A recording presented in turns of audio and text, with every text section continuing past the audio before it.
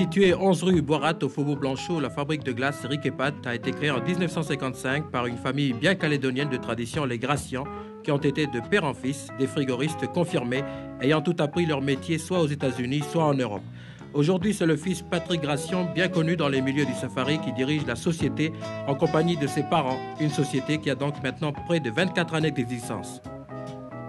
À cette époque, il n'y avait pas encore d'importation de glace.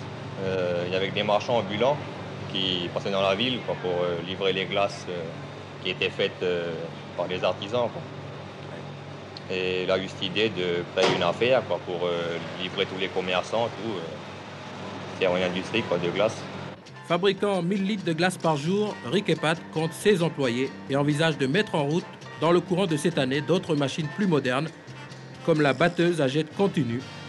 Une preuve, s'il en était besoin, de la bonne progression de la production.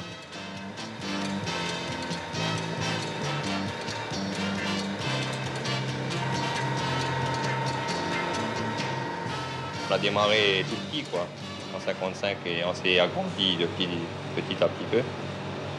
Maintenant, on a fait des, pas mal d'investissements, à peu près 60 millions de matériel on a actuellement et on compte encore euh, recevoir du nouveau matériel pour améliorer notre, euh, nos produits dans l'avenir.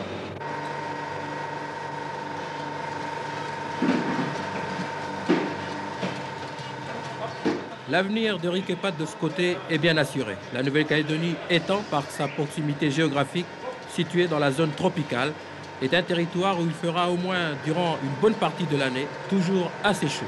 En tout cas, suffisamment pour que la glace ne se gèle pas toujours dans les frigos du Faubourg Blanchot.